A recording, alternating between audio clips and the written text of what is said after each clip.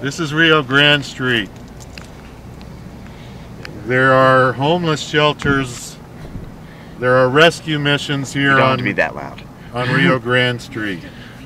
We're seeing we are seeing where a lot of the homeless either hang out or they need shelter of some kind.